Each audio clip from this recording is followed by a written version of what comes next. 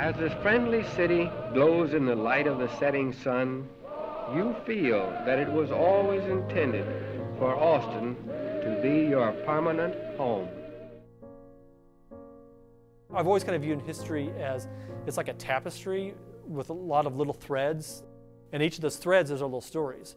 And if you remove those threads, you lose the tapestry.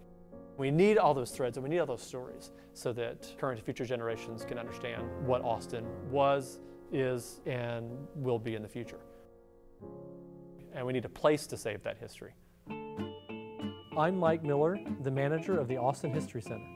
The Austin History Center is the local history division of the Austin Public Library, and we preserve the history of Austin and Travis County. We have some really fun and interesting things here. Letters, diaries, records, photographs, maps, books, video, audio, oral histories. This is a record of arrests. You have someone arrested for fast riding. And that's not fast riding as in writing, it was fast riding. So they were speeding on their horse through town. What the public sees when they come in is only about 2% of our collections. Let's go take a look behind the scenes. We're in the O. Henry room where we store one of the largest O. Henry collections in the country. O. Henry is one of America's uh, most well-known short story writers and he lived here as William Sidney Porter and he was working for the First National Bank in Austin as a bank teller. He was indicted and convicted of embezzlement and sent to the federal penitentiary in Columbus, Ohio, where he started his short story writing and adopted his pen name O. Henry. Truth is indeed stranger than fiction. All of my stories are actual experiences that I've come across during my travels. This is the only recording of O. Henry's voice. So now we're in the mayor's room. This used to be a public space, but we had to convert it into offices for our community archivist program. Hi Esther, what you working on today? I am working on the first Vietnamese American newspaper.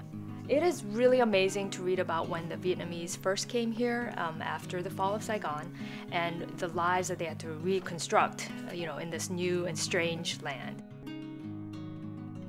We have three community archivists who go out into the field and work with the Mexican American, African American, and Asian American communities to make sure that their stories are preserved.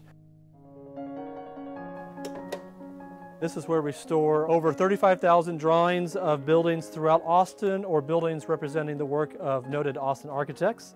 And one of my favorites I'm going to show you now is the working drawings that they used when they built the Travis County Courthouse. It's almost like a piece of art in and of itself.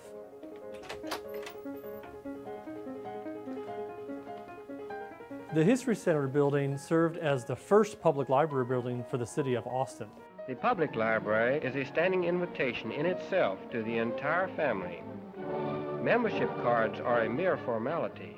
In the 1980s, when they built a new library, this building was almost demolished, but a group of citizens banded together to save it and restore it as the Austin History Center.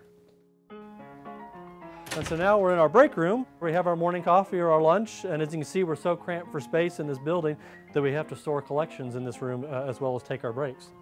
And this is the room where we store the papers of Governor of Pease. These boxes here were set out to be picked up by the trash pickup in the 40s.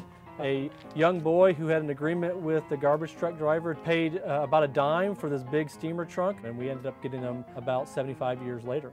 One of my favorites that was in this collection was a letter that he wrote right before they moved into their house Woodlawn, and Governor Pease was very excited that they were going to have indoor plumbing. Uh, and he even drew a picture on the letter showing where the bathroom was going to be inside the house. And that was a big deal in the 1850s. One of our favorite collections and the most popular collections is our photographs. We have uh, well over a million photographs here at the History Center. This is uh, an image of the Capitol with a tornado. It looks like it's going to take out the Capitol, but it really wasn't that close. The Capitol survived, and uh, we have this great photograph. So one of the really cool things that we do here at the History Center is we build exhibits to display and celebrate Austin's history and to get more of the materials in these backstacks out to the public. Oh, Steve. Hey, Steve. Hi. What are we working on today? We're doing a series of photographs of the old bookmobiles from the Austin Public Library. These are voice recordings of Austinites. These are really important A lot of people have not left a written record behind, and so to understand their history and their story, uh, we have to rely on uh, an oral tradition and an oral record. One of our more famous and kind of interesting stories is an interview that was done of Ann Richards. So I got a telephone call from a friend of mine that said that she had this young woman who wanted to run for office, and would I look at her and talk with her? I said I wouldn't touch it with a 10 foot pole. We have about 50,000 square feet of materials in this building, and this building is only 33,000 square feet. We're waiting for our roof to pop and papers just go fluttering out. These are some of our favorite uh, pieces. This is the suicide letter that Whitman wrote the night before he went up into the tower and, and started his shootings. A Marine veteran who was an expert marksman shot and killed 10 unsuspecting noontime strollers on the University of Texas campus today. And you can see it's both typed and handwritten. He went back and finished the letter in longhand after he killed his wife. All right, and now for my favorite place to work during the summer, it's our cold storage vault. This is where we protect photographic negatives and moving picture images. And so this is our inner vault. This is where we store nitrate negatives. Nitrate uh, can spontaneously combust if uh, too warm. Uh, this is why a lot of movie houses in the 20s burned down. So now we're in our uh, video archives area. We have well over 30,000 hours of video. We have a dedicated video archivist to help us process these materials. Tim, what are you working on today? I'm working on an, a documentary on the Armadillo World Headquarters that was a world famous club here in Austin. The famous first flight of Trans Armadillo Airways made of two giant enchiladas. So this is important work uh, for uh, documentary filmmakers that might want to use this footage in the future? It sure is, because we've had several over the last few years. It's important to preserve it. Yeah. Uh, later they used burritos because they found that the, uh, the contents would spill out from the end of the enchiladas. Follow me?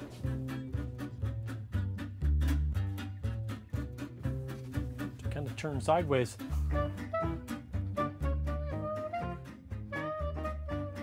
We have to get very creative with, with how we fit things and constantly shifting things around, just trying to make room.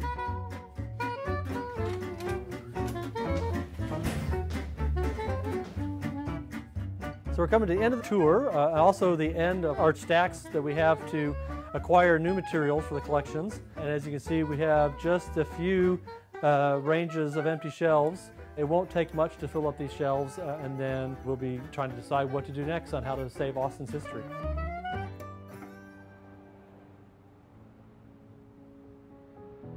The Austin of today is definitely not the Austin of when it was founded.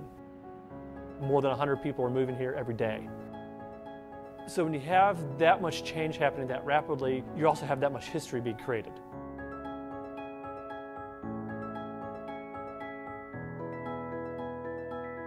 And we need to save that history to hold the fabric of our community together.